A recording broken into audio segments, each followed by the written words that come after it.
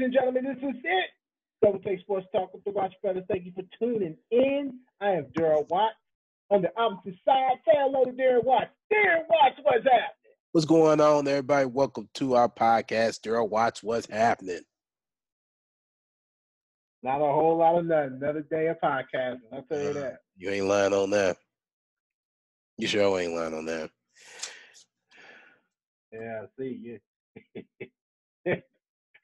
Sorry. You laughing at? I, horrible. Quit making fun of me. That's all I kept giving for people all day. You sound horrible. You look horrible. Well, thank you. Thank you. Like you need to take some medicine. I sat there and drank three cups of Alka-Seltzer all day long. In three hour intervals. Wow, that's a lot. Well, That's a lot. well, I ain't blowing my nose like how I used to. That used to be every three to five minutes, sneezing every three to five minutes. I had to make sure my brain's still in- intact and not on my Kleenex when I'm blowing my nose. I'm just saying. Just saying. It's ridiculous. Well, anyway. anyway, what's on tap on our podcast today for our NBA edition, we got our uh, weekend review, and then we got Darren's analysis, and followed by predictions, and then we're going through headlines, and then our final thoughts of the show. Darren, you ready to do this? Born ready. All right, born ready. Let's do this. Let's go right on ahead and ship right on to Weekend Review. This is not going to be long, I tell you that, and I was so happy about that. You Okay. Yeah. I believe that. yeah, My analysis is what took the longest. yeah. Playing catch up. Playing catch up. hmm All right, taking a quick look at the Ricky review. Oh, before I even get into the Ricky review, I have got to ask you this. Did you see what Odell Beckham Jr. did Monday night? I was cracking up when I saw that. Oh my God! Boss cracking up He was cracking up too. he was. I I love it. it. I love it. I did. I Out loved it, and I lost it. It was Tell too something. funny. Tell you something. I don't care what everybody say about Odell Beckham. If anything was the best out of him, that was it. That was the best. That I. Was it. That was Mhm. it. I died yeah. when I saw that. I got a salute for you, buddy. Yes, sir. I watched that at least six, seven different times. yes, I. I. So did I. So did I. I Was just cracking so up. Oh my goodness. I love I've that. seen salute. that. He just sat there first, and then he's like, "What's this dude doing?"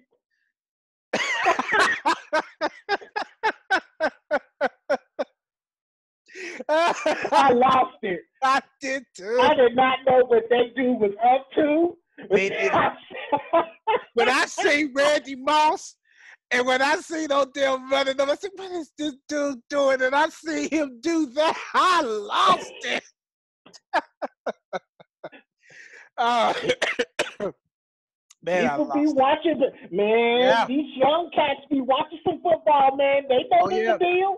They They know. know the deal. Oh, yeah. They watched Randy Moss fight when he did that back in 98. Wouldn't be surprised. Oh, I know-. He, that's the reason why he know about it. He either knew about it or just sat down and rewatched it. But yeah, he, he most likely watched that. Oh my goodness. Oh man, I it was funny. had to. I had to see if you watched that. Because if you didn't, I was gonna make you watch that one. Oh no, I watched it. I saw that one. That was trending. That was hilarious.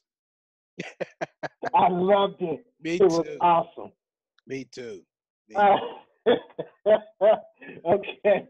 All right. Now that I got that out the way, I have to get that out the way. I had to. So let's go ahead and. oh, so sorry. Excuse me. Let's go ahead into the weekend review. This is from. Whew, I don't even know what to say. From the second part of the championship series now to the World Series.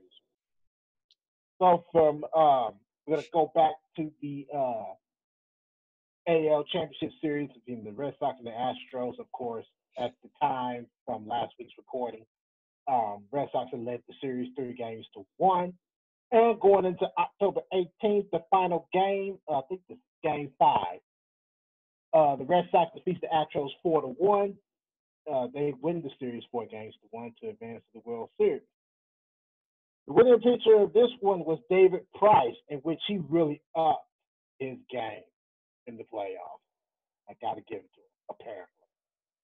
Um, losing pitcher, this was just Justin Verlander. Verlander, I'm sorry. Verlander. Uh, and the save goes to Craig Kimbrel. I cannot read today. The NLDS. Ooh, I'm so sorry. Ooh. Want to change that. Um, the NLCS between the Dodgers and the Brewers. At the time of last week's recording, the the Dodgers was leading this series three games to two, and I gotta apologize. I accidentally put uh, the Brewers beating the Dodgers in game. I think it was four, and it was the opposite way around. Uh, October 19th, the Brewers beat the Dodgers seven to two. Winning pitcher this was Corey Knebel, and losing pitcher this was Young Genrio. And the series is tied 3 3. October 20th, game seven of the final game. Uh, the Dodgers beat the Brewers five games to one. They win this series four games to three. The winning pitcher, this was Ryan Madson, and then the losing pitcher was Jhoulys Chacin. Head on to the World Series, the Los Angeles Dodgers versus the Boston Red Sox. Game one, October 23rd, Red Sox beat the Dodgers 8 to 4. Winning pitcher, this was Matt Barnes. Losing pitcher was Clayton Kershaw. And game two, and the final game, uh, October 24th, Red Sox beat the Dodgers 4 to 2. Winning pitcher, this was David Price. And the losing pitcher is Hyun Jin Ryu. And game three would be Thursday night. Mm-mm. Tonight. I'm sorry. No, it's tomorrow night. No, it's Friday night. I'm sorry. I thought it was tonight. Is tonight. it tonight, bro?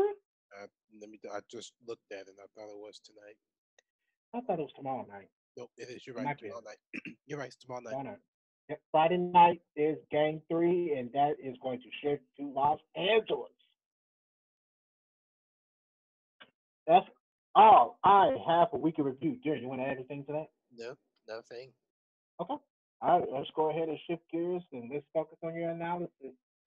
So, All right. whenever you're getting ready, for sure.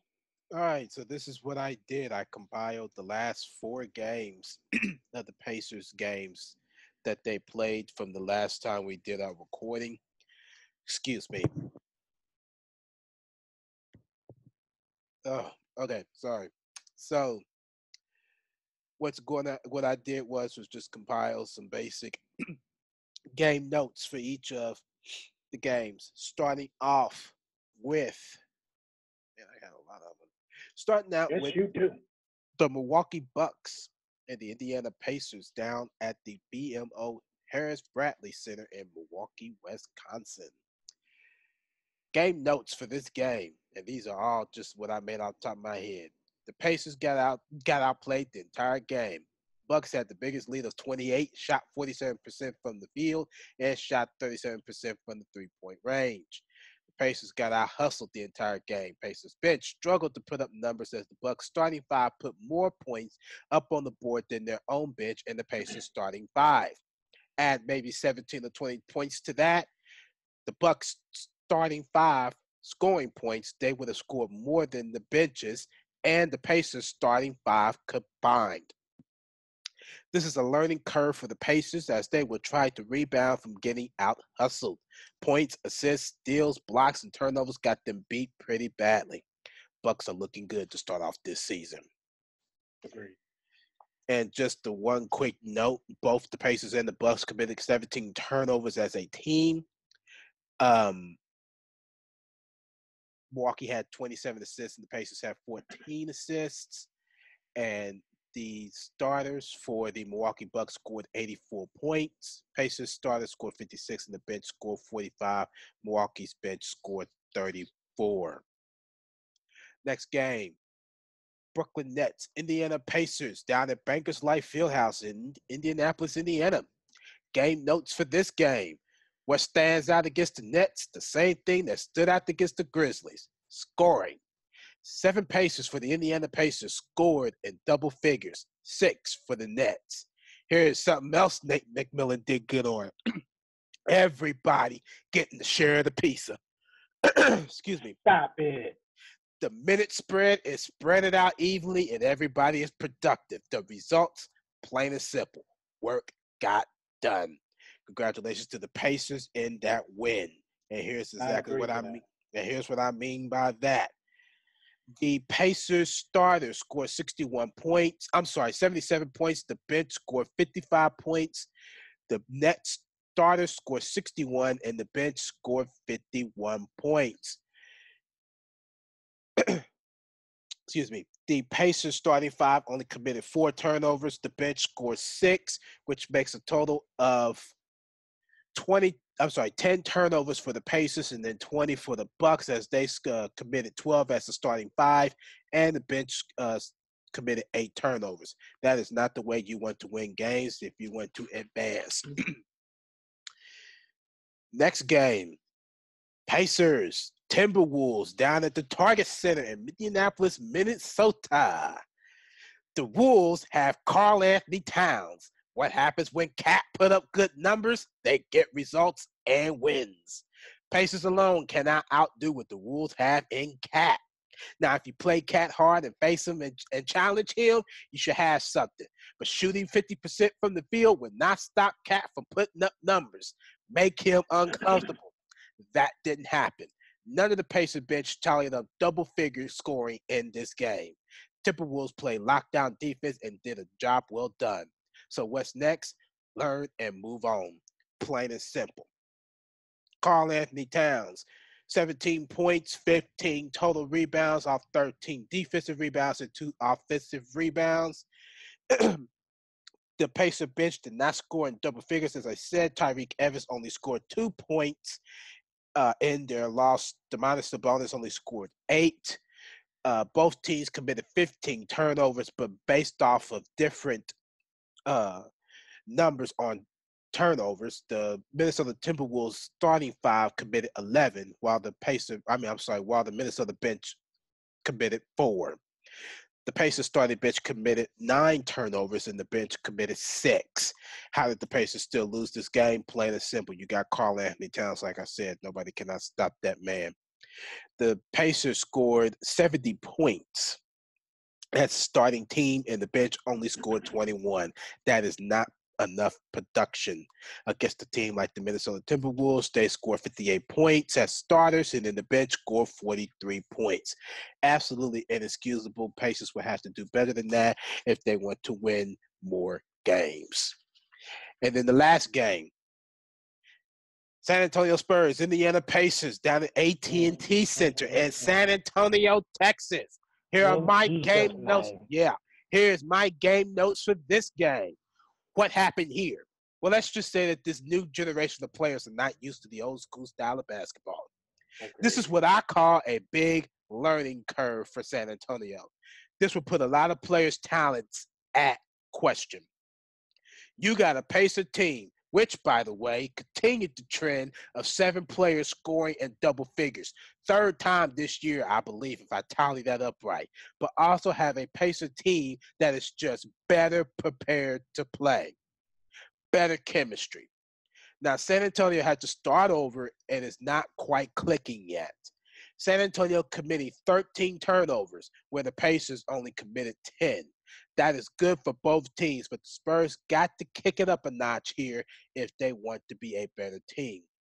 Pop's philosophy don't let the ball stick. 16 turnovers, I'm sorry, 16 assists, Pacers, 34. That explain anything? Ball sticking. Ball sticking. Can't let the ball stick. Only one player scored in double figures for the San Antonio bench. That was Marco Belinelli with 16 points. The San Antonio team, like I said, committed 13 turnovers. The Pacers committed 10. The starters for the Spurs committed seven. The bench committed six. Pacer bench, I'm sorry, starters committed seven, and then the bench committed three. The Pacers won that game by the final score of 116 to 96. Joe, you got anything you want to add to the analysis? I will add this. From the games that the Pacers won, if they would get bench production, Mhm. in all honesty, Yeah. the Pacers, in my personal opinion, would be four and one. Yeah. I, I, and I think I started to notice a trend when all the players are playing above 20, 20 minutes each game. It don't matter from the from the starters to the bench. One thing to note that I forgot to mention. Now that I now that I think about it, I forgot to mention it, and I don't remember which team it came off from. The who was it? It might have been a losing effort, but it was still a point that I wanted to make. Uh, who was it? I have no idea. Was it Brooklyn? Nope. So it might have been Minnesota. Yep. And a losing effort had to been Minnesota. Nope. It might have been San Antonio. Yep. The Pacer bench outscored the starting bench. I mean, the starting players only by two. 59 points to the Pacers starting five, 57.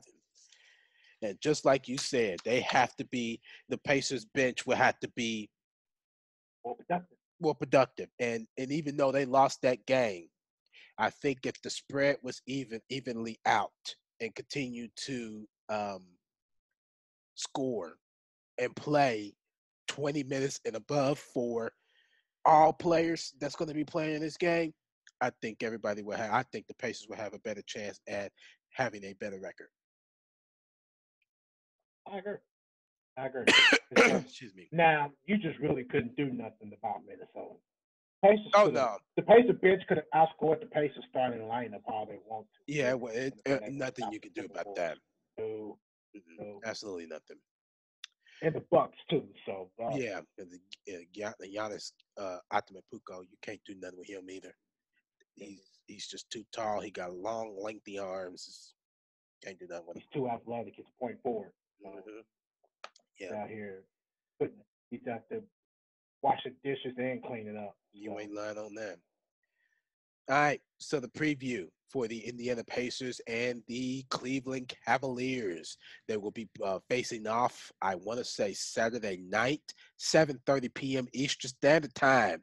Three and two Pacers going up against the zero and four Cleveland Cavaliers. The last time they matched up against each other was in a preseason matchup, October 8, 2018. Pacers won 111 to 102. Victor Oladipo with 23 points, Domantas Sabonis with 12, and Darren Collison led the Pacers with four assists. And on the flip side of Cleveland, uh, Kyle Korver scored 17 points. George George Hill uh, got seven rebounds, and George Hill had five assists. So, what's going to have to happen in this game for the Pacers to win? Plain and simple, just like how I said with the NFL podcast with the Colts and the Cavalier. I mean, with the Colts and the Raiders, show up. That's all you gotta do. Show up, you will win. Plain and simple. Not much different here. Pacers shooting better at 49%. I don't even think I can do my marker anymore like how I used to. Let me see if I can. Yeah. See, I can't do my marker anymore. That just hurts my that sucks. that hurts my That sucks. I would have to do this, and I kind of don't even like doing this, but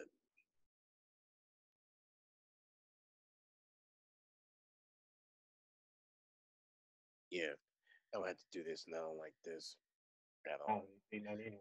Not right, because I haven't done it yet. I'm still trying to get it up. Um, the one thing that would have to happen for them, for the Pacers, that they need to continue to shoot better. As you can see, 49% to 43%. Pacers shooting better, three points compared to theirs, 32%. But you don't want to commit fouls. They are a better shooting team, and they can shoot their way right back into free throws if the Pacers commit too many fouls.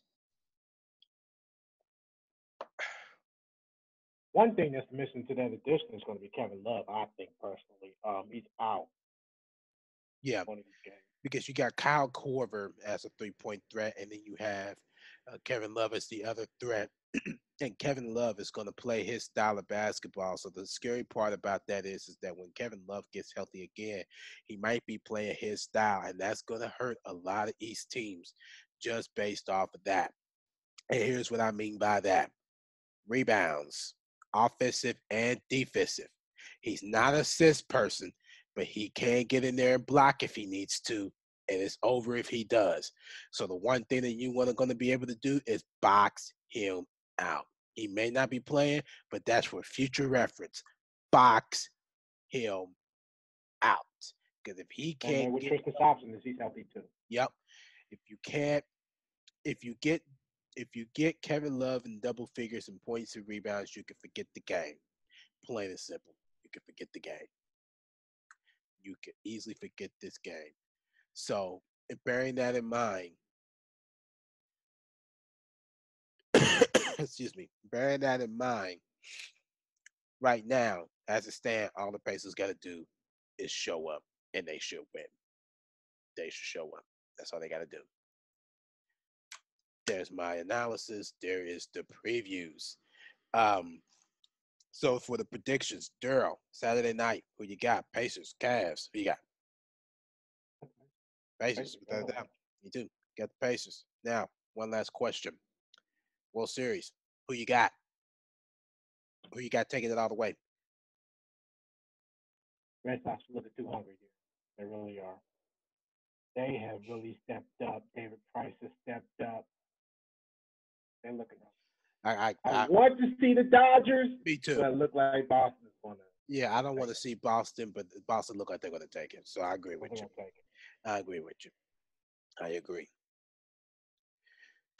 There you have it. Our predictions for the World Series and for the Pacers. Now we'll go back to headlines. We are getting ready. The floor is yours. It is eight o'clock, just so you know.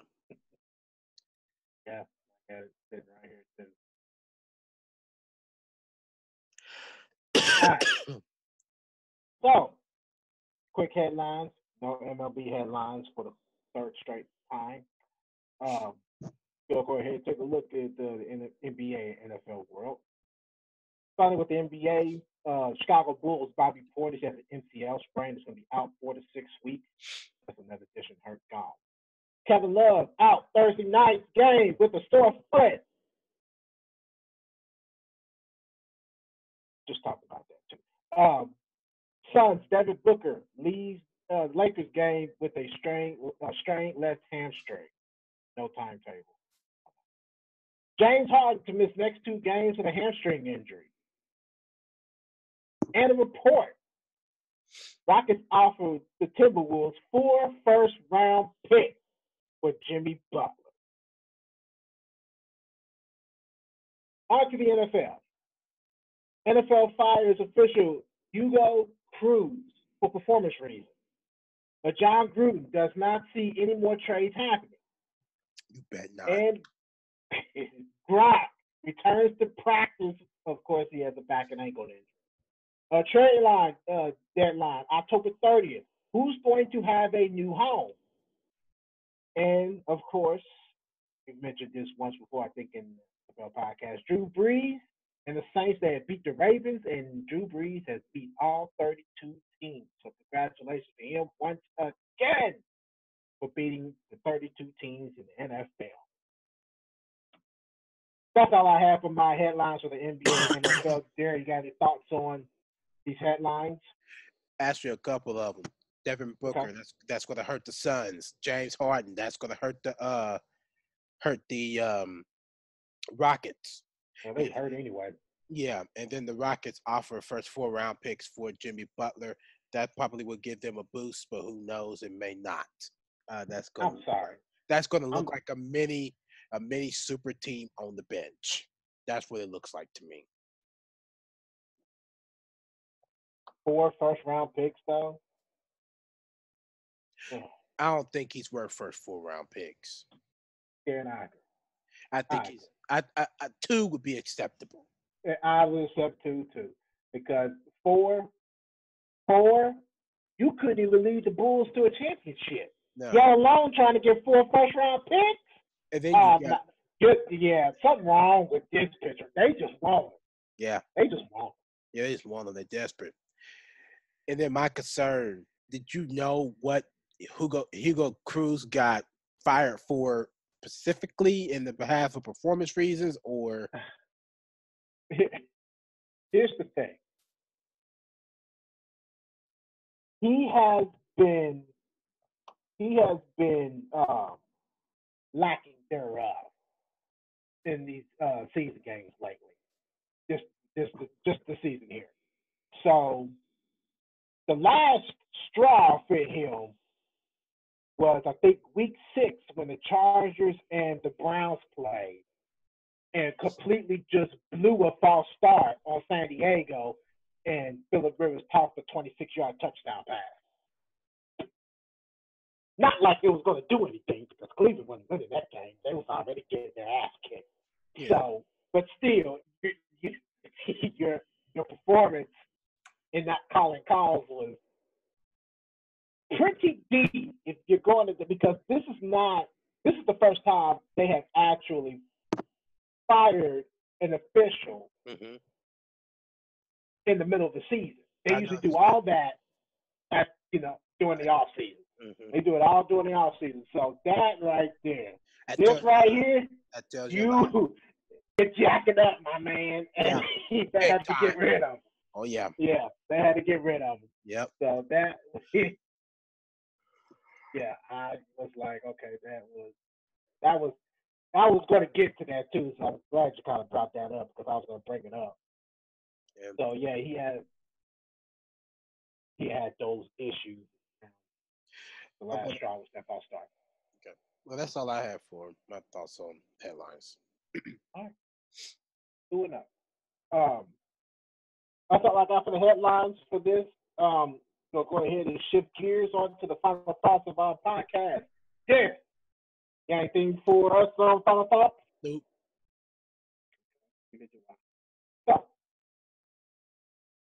There's nothing else, to go ahead and wrap this up and get on out of here. Let's Do it. All right, that is another edition of Double Take Sports Talk. If you like what you see, just give this video a thumbs up. Uh, How you feel about today's show? Just comment in the comment section below as usual. If you have any questions for us, we're on the social media stuff. Facebook, Twitter, and Instagram. You just hit us up there. And of course, if you like it, we'll share them on the air. So check that out there. Um, also, subscribe to our channel on YouTube and we're on iTunes. Leave us a review and rate our show. And it helps us way to find the ways to improve on our show. But until then, I'm Darrell. Yeah, go ahead, opposite side. Yep. All right, catch you with us on another episode of Double Take Sports Talk. Until then, ciao. Ciao.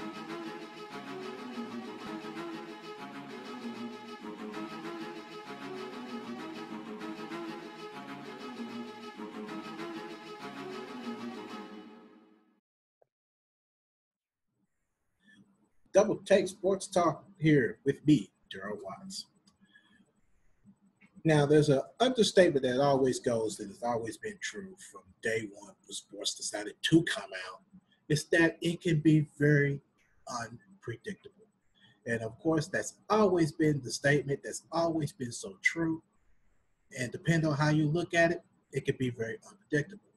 But with Double Take Sports Talk, we just throw some entertainment in there even if we don't get predictions right or theories don't come out right, we always just throw a little entertainment into the mix. So why not just have a little fun with it? That's how predicting can be so fun if you make an entertainment out of it. But other than that, of course, I'm all for it. I'm all for it. But anyway, we're on social media around the, around the globe here. We're on social media on uh, Instagram, Facebook, and Twitter. Uh, you can hit us up on our fan page uh, at the Watts Brothers. You can hit us up on Twitter at DTST2414. And of course, you can hit us up on Instagram, uh, Double Take Sports Talk. So, YouTube, subscribe, subscribe, subscribe. You can share, You can do all the good stuff, do anything that you like. We're just trying to grow a podcast here, folks. We're also on the iTunes. You can download our episodes there. We're on the video, of course, and we're on the audio portion too. So either way that you can enjoy this podcast, you can do it audio, we do it on video.